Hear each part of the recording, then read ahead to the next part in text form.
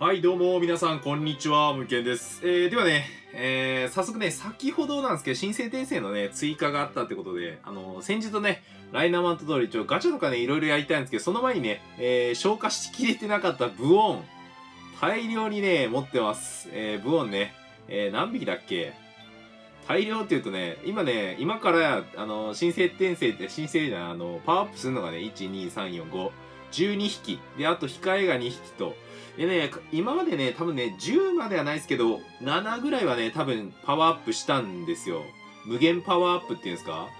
この岩石落としにね、つけたかっただけなんですけど、ほんとつかなくてね、しかもあの無駄にパワーアップしてたんで岩石落としだけがどうしても欲しくてね。えー、こいつ、えー、まあ、もうすでにね、44ではあるんですけど、えー、こいつにね、どんどんどんどん食わしていきたいなと思います。えー、パワーアップさせていきますね。まあ、ここでプラスでね、えーつけていきましょうか。はい、じゃあ行きましょう。岩石落としにプラスがつくかどうか。まあ、これね、えー、11匹全部やっていきたいと思います。はい、スタートです。じゃあパワーアップ。さあ、こいこい。ね、岩石落としにプラスしたらね、闘技場でかなりね、火力が高くなるんで、先日の大会でもね、そのプラス3の人たちが結構多かったんですよね。はい、来ました。まあ、今までね、10回ぐらいほんと失敗してるし、結構確率がね、特技のレベル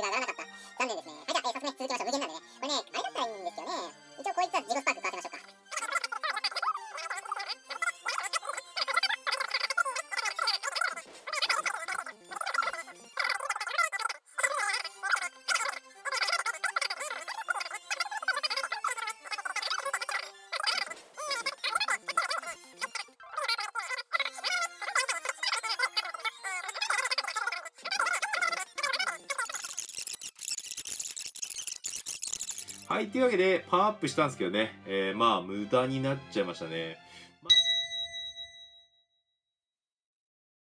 はい、あと2匹いるんですけど、まあ、ちょっともういいかな。